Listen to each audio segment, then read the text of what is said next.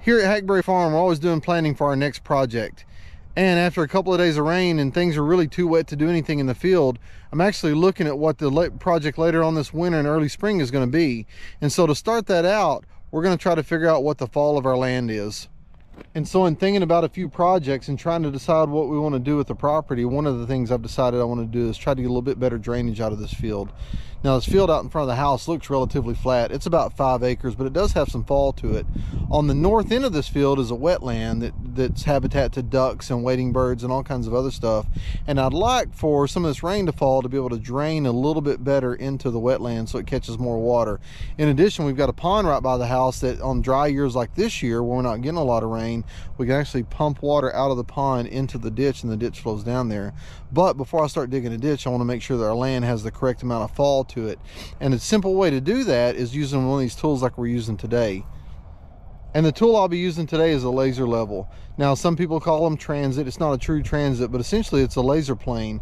And what it does is when you get it level, and the and the mechanism inside spins it shoots a horizontal laser out over the landscape. We can't see it but the laser's there. And what allows us to do is set our point that we're trying to survey against and determine whether everything we survey beyond that point is higher or lower than our original point one of the first steps we need to do when determining the fall of the property is to set up the laser plane on the tripod. Now, one of the things you got to be aware of is this thing has to set perfectly level, so that way when it shines the laser out, that laser will be perfectly level. That takes a little bit of doing. You've got to work at it to get it set up level, but it does have a bubble level on top, and it aids a lot in setting this, this first piece of equipment up. The next thing I'll do is really take my first reading. Now, usually for me and the way my brain works, I like to start at the high ground and work down from that. It's just easier for me to visualize because again, some of this is a little bit counterintuitive, but once you get the hang of it in your mind, it's really pretty easy after that. And so I've, I want to try to find out where the water's running from this pipe, this drainage pipe we have that drains the rest of the yard, where it runs from this pipe, and then which way is downhill from here.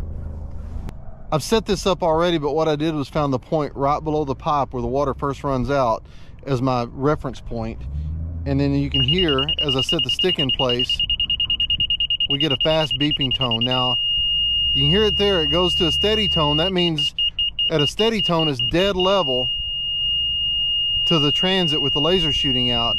Now this thing is really sensitive. I think this is about a tenth of an inch sensitive so if you move it just a little bit you get a tone. But as long as I hear that tone I'm, I know I'm within the ballpark. And so once you get that first reference point set you know where your your high ground is and it's easier to work backwards from there. From there I just need to determine where the fall of my land is. Now you may be wondering where can I get a piece of equipment like this? They can be a little pricey to buy. I think the cheapest cheapest ones you can find are five to six hundred dollars. You can rent them at a lot of home improvement stores. Mine I borrowed from a friend who's a dozer operator down the road if you notice at my first point, the receiver's not beeping at all, and that's because I'm running downhill from my original reference point. Now, if I raise this receiver up, you can hear it starting to beep.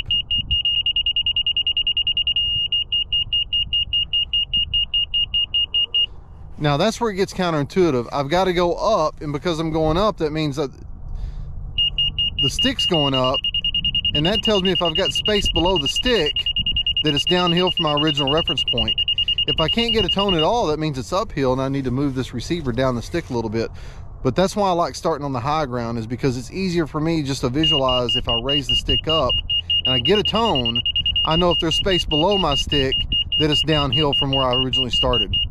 So when I raise the stick up and I get a tone, I can look below my stick and I can see that I've got about six inches of clearance there below the stick. So that tells me there's six inches of drop from where I first started up at my up at my reference point to this point right now.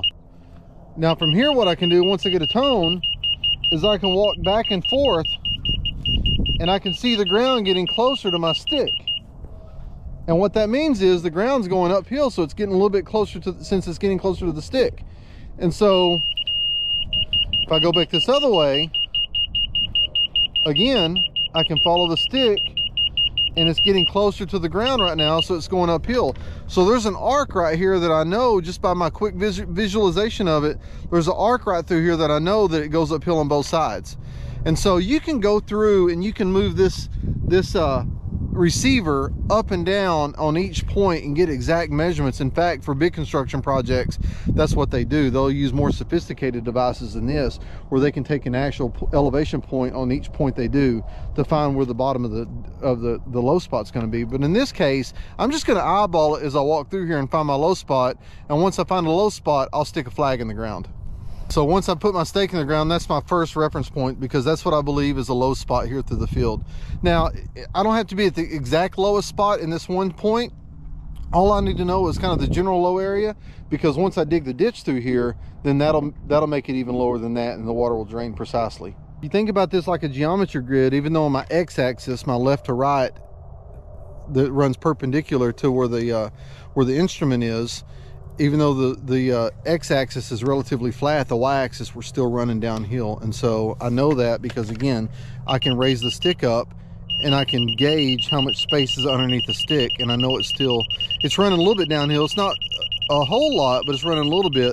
But as long as I find kind of a general low area and can put another flag here, when I dig my ditch and I can, and I, it'll still water will still run in the direction I want it to run. As long as I'm not, we're not running uphill from here, everything's okay. As long as we're running downhill from the first reference point, we know we can make the water go where we want it to go. Even though the ground is relatively flat through here, that's actually gonna work in my favor because I can make a meandering ditch that runs through here that will really slow the water down. The thing I don't want to do is make a straight ditch to from point A to point B because the faster that water gets moving through, the more erosion it's going to cause. Eventually, I'll take this ditch and I'll plant some native grasses alongside of it. I'll plant some trees along and try to make it look as uh, natural as I can. But one thing I wanted to do is kind of snake through this field and move really slowly from point A to point B. I don't care if it backs up a little bit. It's eventually going to flood this anyway. But by using the the topography of the ground to my advantage uh, I can make this water go as slow as I need it to go so I'm almost to the end of the flagging operation across this field and look what I found out. Look how much I've got to raise this. You can hear the tone there. And as I look at it, and it's amazing because when you look at this, this field, just with your naked eye, it looks almost flat. But from my reference point to where I stand right now is probably 100 yards away. And then the amount of fall that the land does between here and there is about a foot and a half to two feet. I can measure it precisely, but it does the precise measurements again doesn't matter so much through here to me. All I want to know is is the water going to run downhill when I put it in the ditch up there all the way to down here and so far it is. I mean it's just all I've got to do is even though I've got a relatively flat area up there as long as I can dig the ditch and the ditch is lower than the rest of the surrounding uh, landscape around it. And as long as from a, a, a y standpoint that the ground pitches from the high ground on the south to the low ground on the north, I know the water is going to run the direction I want it to. With these laser levels, I've introduced you a pretty basic way of using one. That's how I use it most of the time is just trying to figure out what the ground is doing.